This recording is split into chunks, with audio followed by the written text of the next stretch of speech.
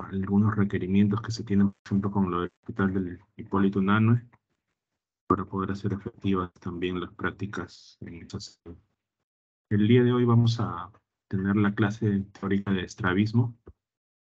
Eh, estrabismo tiene dos partes bien claras, ¿no? Entonces, una parte que nos corresponde a todos conocer como base de nuestra formación como médicos generales y destinada propia para la especialidad. Entonces, la parte que nos interesa es quizá la más básica y la más fundamental que debemos tener siempre en el recuerdo para poder transmitir a nuestros pacientes que el tema en sí, ustedes lo van a tener muy y muy cerca y de todas maneras tienen que transmitir unas, algunas ideas este, claras a sus pacientes porque es un tema muy sensible, sobre todo cuando se trata de niños, ¿no? Entonces vamos a tener que el estrabismo, básicamente, pérdida del paralelismo de los ejes oculares, básicamente cuando hay una desviación, ¿no? A veces los papás confunden estrabismo con astigmatismo, entonces eso es algo siempre a tener en cuenta para que ustedes puedan hacer la diferenciación. Astigmatismo es un trastorno refractivo y el estrabismo es la pérdida del paralelismo del eje ocular, o sea, una desviación propiamente dicha. Vamos a ver que afecta al 3 o 4% de la población infantil, entonces vamos a ver que no es algo que se presente muy, muy rara vez, sino más bien es algo frecuente y siempre vamos a tener esta patología rondando. Este, cuando ustedes probablemente estén a cargo de sus serums, van a tener consultas cuando hagan crecimiento y desarrollo con los niños pequeños, ¿no? Entonces, lo es importante, 3 o 4% de la población infantil, hay más riesgo de padecer este, estrabismo si los papás han tenido estrabismo. Y lo más importante es que el estrabismo es la primera causa de ambliopía en los niños, ¿no? Comprendemos por ambliopía la reducción funcional de la agudeza visual en un ojo, básicamente por falta de desarrollo visual. Pero el estrabismo no solamente queda en disminución de agudeza visual y ambliopía, sino también conlleva un trastorno psicológico por el problema estético que acompaña esta patología. Y en la edad que se produce en la población infantil, a veces es un poco difícil de manejar esto, ¿no? Causa más frecuente de ambliopía, ya habíamos mencionado, y si uno de los padres presenta estrabismo con antecedentes, se aumenta pues este, la probabilidad de presentar en un 20 o 30%. Podemos tener estrabismo infantil o adquirido. Acá hay algo que debemos resaltar que se prefiere el término de lactante en lugar de congénito, porque la presencia de estrabismo verdadero cuando nacen los niños es bastante raro. Y el término de lactante permite incluir variedad que se desarrolla dentro de los primeros seis meses de vida. Cuando ya se produce después de los seis meses de vida, vamos a ver que se utiliza, utiliza el término de estrabismo adquirido. Entonces el corte va a ser seis meses. También tenemos algunos términos específicos, una nomenclatura para el estrabismo. Propias desviaciones manifiestas. ¿Qué es una desviación manifiesta? Es cuando yo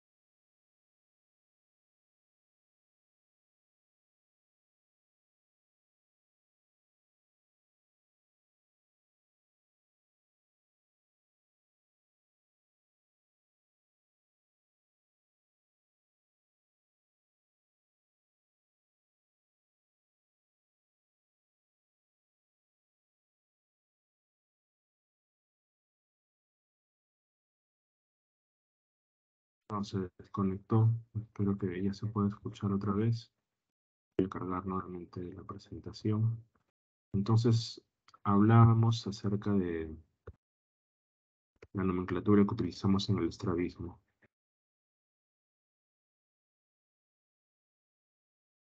¿Se puede escuchar ahora sí?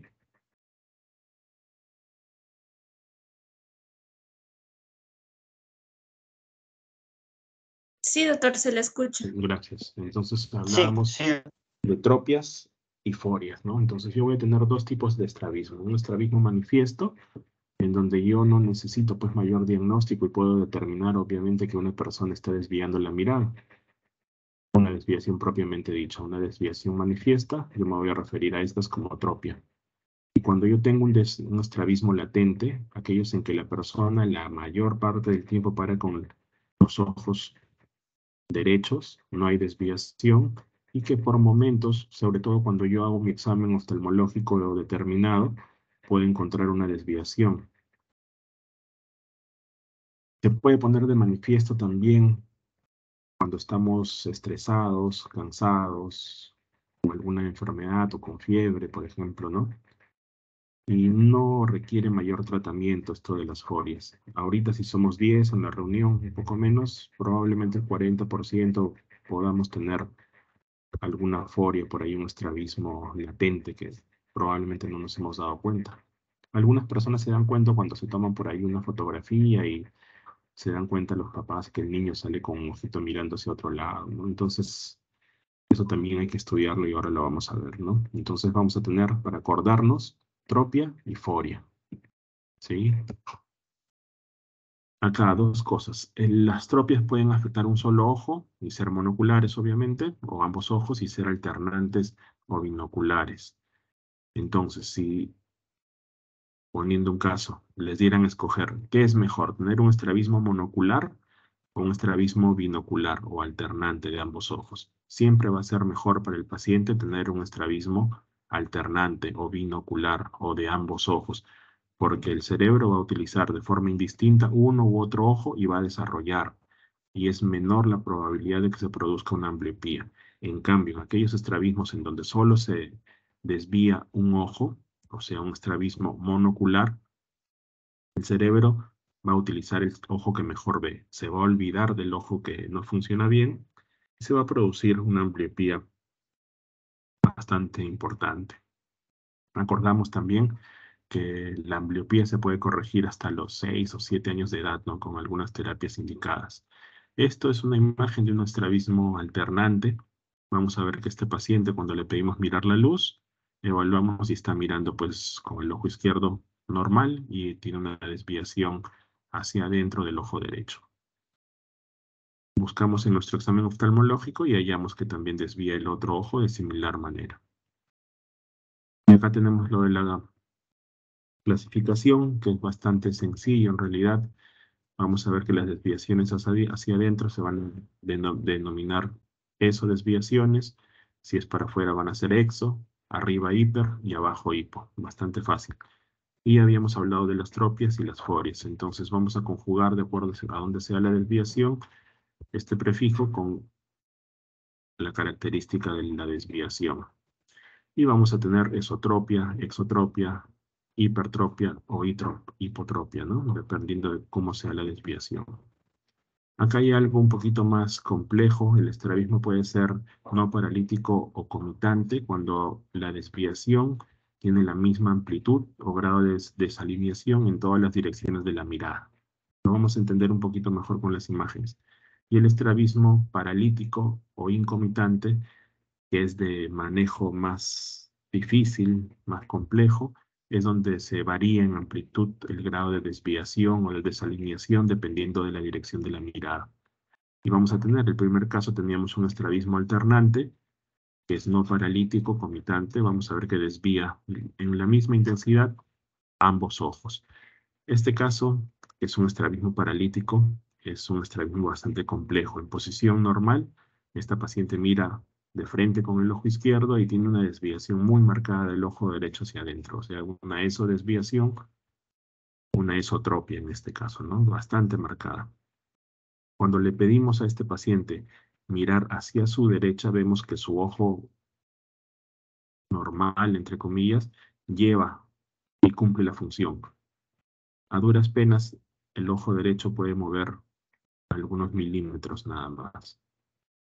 Y cuando le pedimos que mire hacia su izquierda, completa la acción con el ojo izquierdo y vamos a ver que el ojo derecho casi no encuentra mayor diferencia con la desviación inicial que presentaba, ¿no? Entonces, esos casos complejos van a ser estrabismos paralíticos o incomitantes. No son muy frecuentes, felizmente. Entonces, si ustedes preguntan cuáles son las causas o los factores de riesgo que hay que tener en cuenta, ya teníamos uno, que es la herencia, ¿no? Si tenemos papás que han tenido estrabismo, 20-30% de aumento de la prevalencia de presentar estrabismo en los hijos.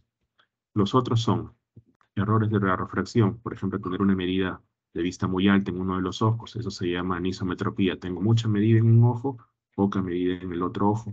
El cerebro va a preferir el ojo que mejor ve o el que tiene menos medida y se va olvidando, entre comillas, del ojo que tiene peor visión. Se puede producir ambliopía y también estrabismo, una desviación.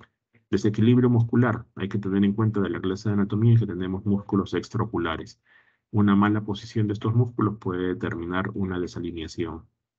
Y algunas causas más raras que van a ser el retinoblastoma, que es un tipo de cáncer ocular, y otros efectos oculares graves y enfermedades neurológicas. El estrabismo infantil va a tener como antecedentes familiares algo importante, familiar de primero o segundo grado, tener un trastorno genético, síndrome de Down, por ejemplo, exposición prenatal a fármacos, alcohol, prematurez, bajo peso al nacer, defectos oculares congénitos, parálisis cerebral. En el estrabismo adquirido, ya sabíamos que el corte son seis meses, de seis meses para adelante de vida podemos considerar estrabismo adquirido. Puede ser agudo o instalarse de forma gradual, ¿no? Entonces, errores de refracción, una hipermetropía alta, tumores como el retinoblastoma, un trauma encefálico, un trastorno neurológico, como por ejemplo la parálisis cerebral, alguna infección viral, efectos oculares adquiridos. Entonces, habíamos mencionado que tenemos dos tipos de desviación. Las latentes, las forias, que no requieren mayor tratamiento, no requieren mayor manejo. Este, probablemente los pacientes alguna la poseen, la tienen y nunca se den cuenta en su vida que tienen esa condición y no requiere mayor problema. Cuando son sintomáticas, pueden generar astenopia, que es ese conjunto de síntomas que genera lo que denominamos cansancio visual, ¿no? Un dolor retrocular, visión borrosa, con, cuando hacemos mucho uso de los ojos, entonces mayor demanda visual. Eso es la astenopia. En cambio, las tropias en ocasiones sí pueden presentar síntomas, ¿no? Aparte de que se puede presentar este, una mala visión por tener alguna medida demasiado alta en uno de los ojos, podemos tener también tortícolis, ¿no? Para tratar de compensar, el paciente gira la cabeza, rota la cabeza y adopta una posición anómala. Habíamos hablado ya lo de la ambliopía, que es bastante importante y se relaciona con lo del estrabismo, siendo el problema más frecuente y preocupante en los niños. La diplopia, que es la visión doble, es algo poco común en los pacientes pediátricos, más bien se presenta en pacientes que tienen un estrabismo adquirido de una instalación aguda. Por ejemplo, un paciente que presenta un trauma ocular, un trauma, perdón, encefalocraniano, puede tener una diplopia de instalación aguda y es muy fastidioso. Los pacientes que presentan desórdenes neurológicos por alguna enfermedad sistémica, a la cabeza diabetes, ¿no? Los pacientes diabéticos descompensados hacen parálisis este, de músculos extraoculares y se produce una visión doble que puede ser muy, muy compleja para los pacientes. Acá una imagen de un paciente que presenta tortícolis, vamos a ver la posición de los hombros, que no es igual en ambos lados. Y este paciente, por tratar de, a veces sin darse cuenta en los niños sobre todo, este, tratar de conseguir la, el paralelismo ocular, rotan la cabeza, ¿no? Y eso va a ser la tortícolis. Para nuestro método diagnóstico debemos realizar un examen oftalmológico complejo, ¿no? La agudeza visual, que de repente ya han llevado la teoría de agudeza visual, que es el examen oftalmológico más importante de la especialidad, ¿no? Y nos va a servir para ver cómo está viendo ese paciente, también en el pronóstico de la patología, que también estamos llevando la terapia cuando hacemos la corrección o el tratamiento. Entonces es muy importante la agudeza visual y la realizamos sin lentes, con lentes en caso de que ya usar el paciente, un solo ojo, ambos ojos a la vez, entonces se maneja de esa forma. El estudio de motilidad ocular, vamos a tener ducciones, versiones y vergencias. Ducciones, evaluación de un ojo de forma monocular, ojo por ojo, versiones, ambos ojos al mismo tiempo, con la visión conjugada hacia el mismo lado, y las vergencias también movimientos binoculares, pero la visión de forma contraria, y esto lo vamos a ver ahorita en, unos minutos. Y la prueba de Hirschberg y el cover test son bastante importantes y también los vamos a ver. Entonces, agudeza visual de suma importancia para saber a qué tipo de paciente nos estamos enfrentando, ducciones, evaluación ojo por ojo, versiones, ambos ojos hacia el mismo lado, por ejemplo, mirada hacia la derecha, que es dextroversión, levoversión hacia la izquierda, supra o infraversión, ambos ojos hacia el mismo lado. Y las vergencias, ambos ojos, pero lados contralaterales. Convergencia, divergencia, ¿no? Para entenderlo más fácil. Ya esto es más de lo mismo, inducciones, versiones divergencias. El estudio de los reflejos corneales o test de Kirchberg, bastante sencillo, es de uso cotidiano, siempre en la práctica oftalmológica de todos los días se realiza, ¿no? Entonces necesitamos un ambiente adecuado, el paciente esté a la misma altura que el examinador y una luz bastante sencilla, una linterna de luz cálida que la que debe cargar todo médico. Entonces le vamos a pedir al paciente que mire fijamente a la luz que proyectamos hacia sus ojos y nosotros vamos a estudiar el reflejo de la luz que va a caer, ¿no? Entonces ustedes se darán cuenta que cuando apuntamos con una linterna se produce un reflejo, brillo sobre los ojos. Si no hay desviación, el brillo cae en el medio de ambos ojos al mismo tiempo, son cero grados de desviación o sin desviación.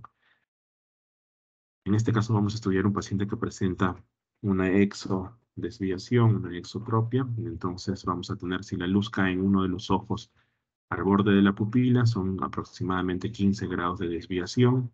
Si cae en la mitad del recorrido, lo que es el borde de la pupila y el limbo esclerocorneal, son 30 grados de desviación.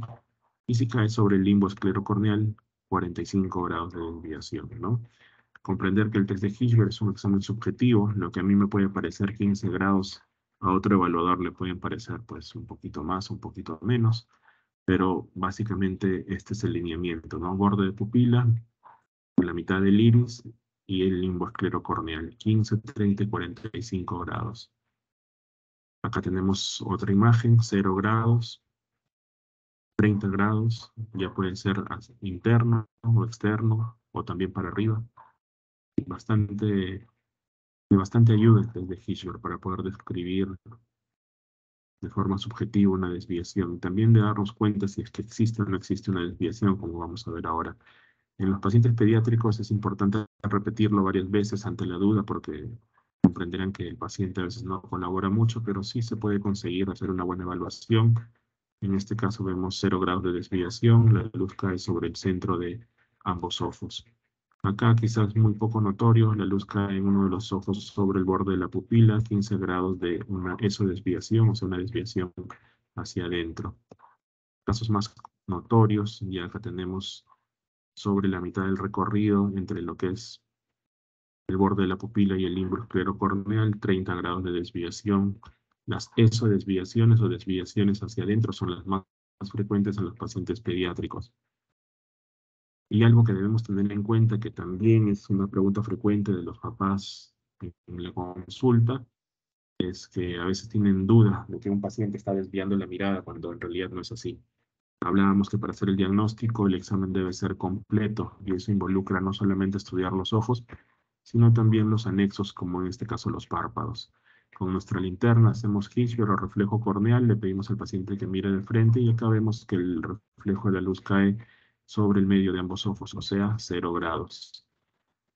Acá también, en el segundo caso, vamos a ver nuestro estudio, que son cero grados de desviación, pero algo que llama la atención de los papás es que dicen, ¿por qué en un ojo se puede ver el blanquito, la parte blanca del ojo y en el otro ojo no se puede ver? Entonces, si extendemos nuestro examen y evaluamos los párpados, vamos a ver que la conformación de este párpado tiene una característica especial, este pliegue redundante se llama epicanto, es bastante común en nuestra población y es la principal causa de pseudoestrabismo, ¿no? Entonces debemos explicar a los papás que no existe desviación, que existe una característica peculiar de los párpados y este paciente presenta algo que se denomina epicanto en ambos ojos y eso da la impresión de que estuviera desviando la mirada, pero no existe una desviación.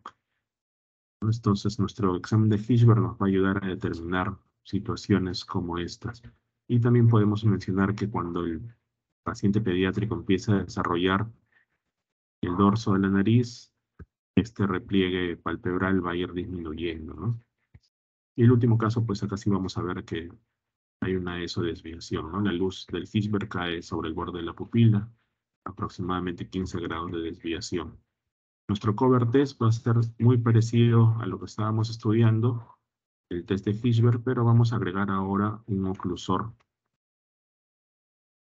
ocular. Entonces con una cuchara, una paleta, una regla, podemos tapar uno de los ojos para tener un efecto como sigue. ¿no? Acá vamos a estudiar una atropia, un paciente que tiene una desviación también hacia afuera. Alumbramos con Fishberg y vemos que tiene una desviación aproximadamente 30 grados hacia afuera del ojo izquierdo. Le ponemos nuestra paleta oclusor sobre el ojo que está derecho y vamos a ver que se produce una desviación y el ojo que estaba desviado adopta una posición central. Retiramos rápidamente nuestro oclusor y vamos a ver que el paciente regresa a la posición inicial. Si tapamos el ojo que desvía de forma inicial, en este caso el ojo izquierdo, no vamos a tener mayor repercusión. Entonces, con esta evaluación a este paciente, solamente con este examen podemos deducir que este paciente obviamente y efectivamente tiene una desviación del ojo izquierdo, aproximadamente 30 grados de una exotropia. Que también debemos decir que el ojo derecho es el ojo dominante, porque es el ojo que apuntó y se puso derecho de primera intención. Podemos decir también que es un estrabismo alternante porque los dos ojos desvían y como desvían en similar magnitud o cantidad en la posición que estamos evaluando, es un estrabismo también no paralítico o comitante, ¿no? Entonces, algo tan sencillo como una linterna y una cuchara nos puede dar mucha información acerca de un paciente con estrabismo. En el caso de una foria, les había mencionado hace unos minutos que gran parte de los pacientes no se dan cuenta que presentan esta condición, y es porque la gran parte del tiempo, si hacemos un Fishberg, el paciente tiene la posición centrada de la mirada. Una vez que hacemos nuestro cover test, tapamos uno de los ojos y podemos romper la fusión que tiene el paciente y vemos que se desvía uno de los ojos, en este caso hacia afuera. Retiramos rápidamente nuestro oclusor y el ojo regresa a posición inicial. Entonces, eso es una foria. Nosotros buscamos, mediante nuestro examen, romper la fusión que tiene el paciente y encontramos una desviación latente. No requiere mayor tratamiento, por ahí si es que es muy molestoso, a veces necesitan correctores o lentes de graduación, ¿no? Entonces, no es mayor problema esto de acá. Y así vamos a completar pues el examen de ortotropia, esotropia y los hallazgos, se los voy a dejar para que lo revisen con más tiempo. Lo que sí debemos tener en cuenta y recalcar a los pacientes es que no se debe ignorar por lo menos la sospecha del estrabismo pensando que va a disminuir o va a desaparecer con el paso del tiempo. Eso no pasa. Entonces, si tenemos una sospecha, debemos referir a este paciente para que se le pueda completar el diagnóstico y pueda ser manejado de forma oportuna, ya que la ambliopía, que es la principal consecuencia que puede traer el estrabismo, se va a corregir antes de los seis años de edad, ¿no? Y para la parte oftalmológica nosotros vamos a tener como objetivo igualar la visión del paciente. Esto quiere decir, si mira muy bien con un ojo, es el ojo que generalmente mira derecho o el ojo dominante, y tiene un ojito que está desviado y mira menos, hay que tratar de darle trabajo a ese ojo para que pueda recuperar su función y ganar visión, siempre antes de los seis años. Prevenir o eliminar la ambliopía es eso, ¿no? Es lo principal para el estrabismo. Y luego podemos obtener el paralelismo ocular con una cirugía si es que se necesita, ¿no? Para tener fusión y estereopsia, o sea, visión en tercera dimensión, con profundidad. El tratamiento se va a basar en la corrección óptica de los defectos refractivos, o sea, darle lentes si es que necesitan lentes, sobre todo en aquellos pacientes que presentan anisometropía. Ya habíamos visto anisometropía, que es mucha medida en un ojo, poca medida en otro ojo, diferentes medidas en ambos ojos, anisometropía. Oclusión alternante, con colocarle parches, por ejemplo, esto ya se, se maneja ya en la especialidad, con la idea de darle trabajo al ojo que se está quedando, entre comillas, perezoso, ¿no? Y por último, la corrección quirúrgica, que va a ser básicamente funcional para poder adquirir no solamente el paralelismo ocular, sino también una visión binocular y, arreglar o solucionar el problema estético y los problemas psicológicos que pueden estar alrededor de esta patología, ¿no? Muchas veces los papás de los niños este, tienen una idea mala de lo que es la corrección y el tratamiento del estrabismo. Para ellos muchas veces es más importante corregir el paralelismo ocular, pero lo que nosotros como médicos debemos resaltar es que se debe pues buscar primero una buena visión y después podemos manejar la parte eh, estética, ¿no? Como parte del tratamiento habíamos mencionado la oclusión o la colocación de parches que pueden ir sobre el rostro o sobre las gafas, ¿no? Distintos tipos de parches. Es un poco incómodo en algunos casos, sobre todo en los niños más pequeños que se acostumbren a los parches, pero bueno, es cuestión de darle nada más para adelante y sí se puede lograr. En algunos pacientes a veces solamente se necesita la corrección óptica, o sea, los correctores de graduación, la medida del uso de lentes, y ustedes van a ver Fishberg con el paciente sin lentes, una ESO desviación, 15 grados aproximadamente, y le colocamos los lentes y le hacemos Hitchberg nuevamente y vemos que ya no presenta desviación, ¿no? Entonces a veces solamente necesitan los lentes para corregir una desviación y así ganan y tienen una buena agudeza visual. Ya habíamos mencionado que la parte última del tratamiento va a ser la cirugía, ¿no? Entonces, la cirugía va a depender de la afectación que se presente, ya sean músculos horizontales o músculos verticales, siendo los casos más complejos la de los músculos oblicuos, ¿no? Entonces se va a basar en la recesión y resección de músculos. En buen cristiano es volver a colocar de forma adecuada los músculos. Hacemos un plan quirúrgico previo al tratamiento basado en la desviación que presenta cada paciente y ahí sí ya tenemos que medir de forma objetiva con el empleo de los prismas de Krimsky para poder este, valorar de forma objetiva la desviación total que puede presentar el paciente para hacer un planeamiento, un plan quirúrgico. La cirugía en realidad es bastante sencilla. Lo que más cuesta es, hacer el plan quirúrgico en este caso, ¿no? y tener una buena evaluación de la desviación de los pacientes. Y se consiguen resultados bastante buenos la idea y lo que se tiene que explicar a los papás es que se va a tratar de alcanzar el paralelismo en la menor cantidad de cirugías. A veces se consigue en la gran parte de las veces se consigue en la primera cirugía, en algunos casos más complejos requiere más de algún procedimiento para poder alcanzar una buena corrección. La principal este, complicación, por así decirlo, de la cirugía va a ser pues la sobrecorrección, ¿no? Entonces, este paciente que presenta una desviación hacia afuera, o sea, una exodesviación, después de la cirugía puede quedar con una exodesviación y si acepta y se puede corregir, a veces usamos este, suturas autoajustables y podemos corregir la visión postquirúrgico y después alcanzamos un paralelismo adecuado, ¿no? Acá en un paciente ya adulto, acá ya no corregimos o no buscamos que el paciente mejore la agudeza visual. Habíamos mencionado que la ambliopía se corrige hasta los seis años de edad como máximo, entonces acá es básicamente la parte estética, ¿no? el rojo de los ojos al cabo de unos 7, 10 días desaparece y no se, no se nota nada, ¿no? Entonces se alcanza un buen paralelismo. A veces en estos pacientes se puede tener diplopia, ¿no? Entonces tienen una visión doble, a pesar de que tienen los ojos centrados, el paciente está acostumbrado, el cerebro está acostumbrado a ver de esta forma, y cuando alcanzan el paralelismo puede tener diplopia por algunos meses y después nuevamente aprenden a hacer una fusión de las imágenes. No sé si hay alguna pregunta con respecto al tema.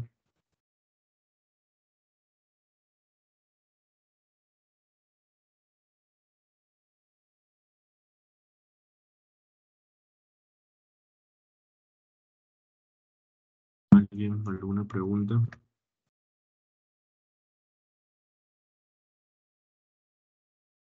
Mm, doctor.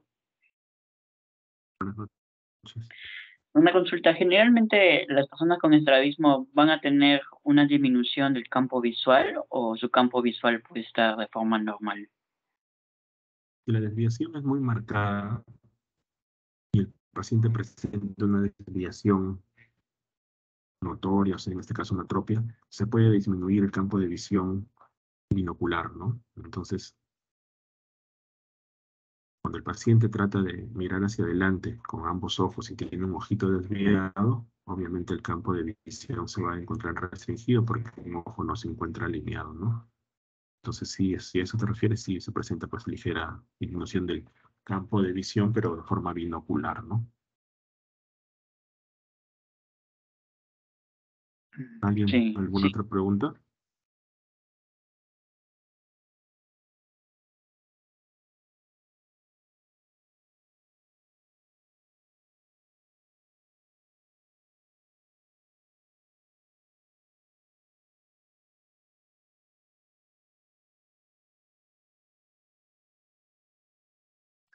Bueno, entonces, si no hay preguntas, doctores, este, quedamos para la siguiente semana para completar la última teoría conmigo, que sería la de cristalina y cirugía de catarata, ¿no? Que tengan buenas noches.